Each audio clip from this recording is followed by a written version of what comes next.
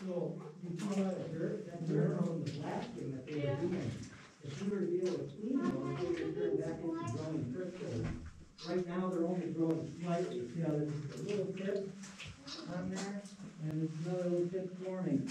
For every inch of crystal growing, you see there's like, it's almost as tiny, some of them are tiny as a toothpick.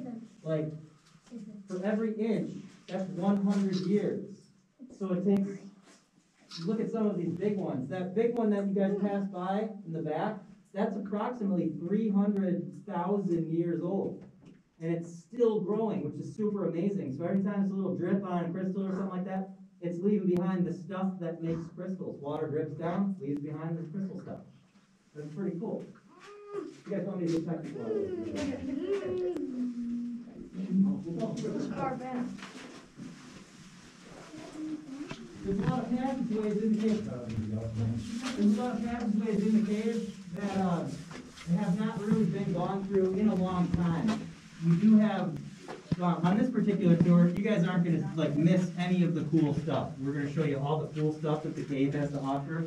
But beyond that, there's a whole other, probably five miles of cave that we can crawl through, check out some stuff. It's a lot drier. See how it's dry inside of there?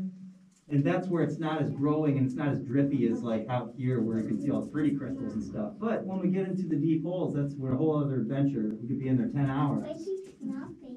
You can't touch the crystal, it's the law.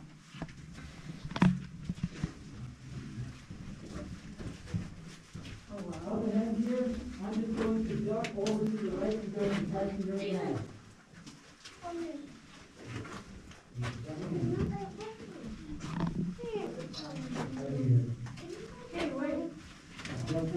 In, I can use your- That's the ten hour adventure you were saying you wanted, right? Oof, that's narrow. Keep going up. Don't scare you. Awesome.